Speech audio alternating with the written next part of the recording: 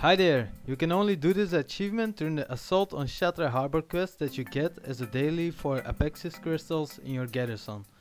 For this achievement, I recommend making a simple macro slash target captive.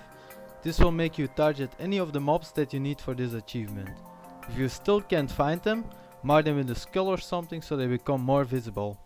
Then just right click on them to free them. Once you free 10 of these, you will get the achievement. That's all, congrats on your achievement.